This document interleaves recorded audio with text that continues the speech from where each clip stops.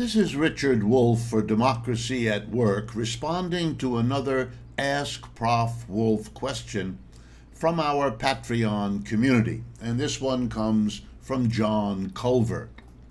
John asks about a secretary in a factory that makes solar panels. She or he is not directly involved in the production of solar panels. He or she is a secretary uh, doing the things that secretaries normally do.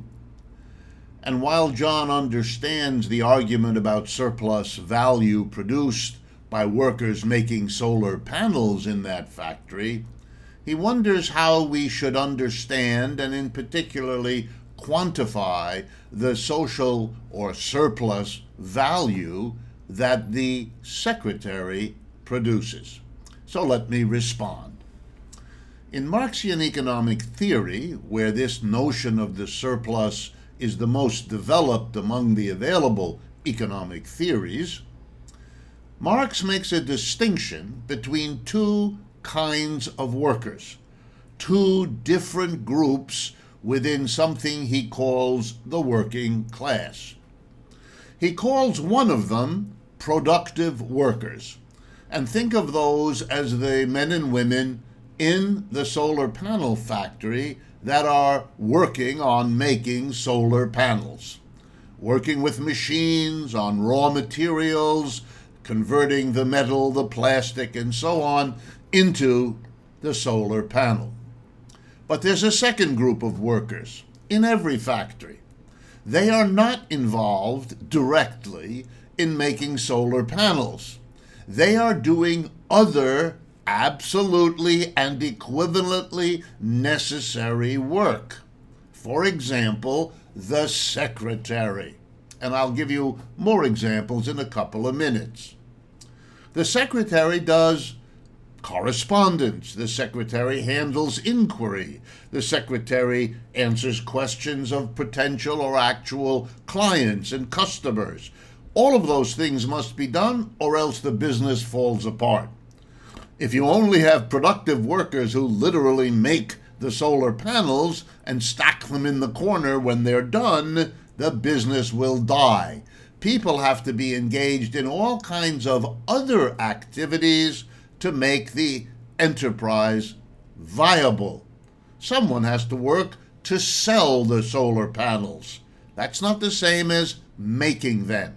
Somebody has to keep records of how many hours each of the workers worked so that they can be properly paid and so that the relationship between the work and the wage and so on leads these workers to come back each day to do the work or else the enterprise dies.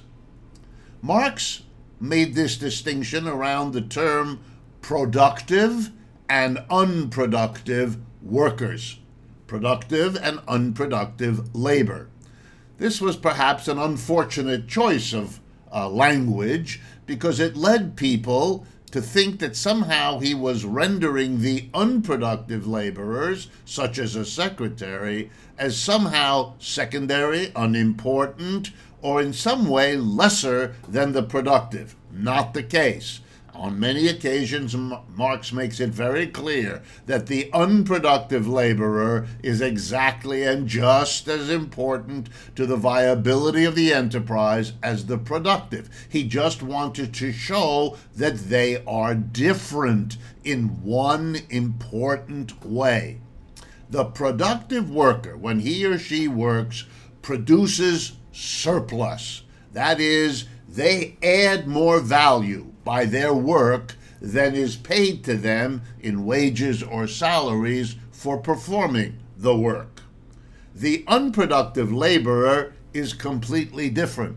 That person is not producing surplus because they are not adding value to, for example, the tools, equipment, and raw materials because they're not engaged in that activity. They're doing something else. What the unproductive laborer does is enable the productive laborer to be, in fact, productive of surplus. The reason that the men and women producing solar panels are able to produce value laden output, adding the value of their labor into it, is because all of the enabling work, such as is done by a secretary, is going on, is being done. It's a little bit like setting something up for other people then to do something. Without the setup, for example, if you're shooting a scene in a movie, there has to be the equipment, the cameras, the microphone, all of that has to be done. The film isn't made only by the actors and actresses who enact the scenario. No, no, no, no, no. And you have to understand how this works. And now here comes Marx's way of linking these two. The productive workers, the ones in his example of a solar panel factory, produce those solar panels by their labor. The value of those solar panels equals the total labor put into producing them by everybody who made the tools, equipment, and raw material, and then by the value added by the workers at the last step when the solar panel is produced. The value added by those workers is greater than the value paid to them in their wages, and that's the surplus. Who gets it? The employer. That's why it's called capitalism. The employer is in the business to get that surplus because that surplus is the difference between the money the capitalist throws into the production process and what he takes out of it. That difference, typically called profit in Marx for particular reasons, is called surplus. Then the employer takes the surplus, and here comes the cu- crucial point. He takes a portion of the surplus and uses it to pay for all of the enabling work done by the unproductive workers. He hires the secretary to do his or her job, the security guard to watch the place at night, the lawyer to handle any legal issues, and so on. There's a lot of unproductive laborers that have to be paid to make this system work. But the difference is crucial. One group of workers produces the surplus, and part of that surplus is distributed to the other kinds of workers to do their tasks.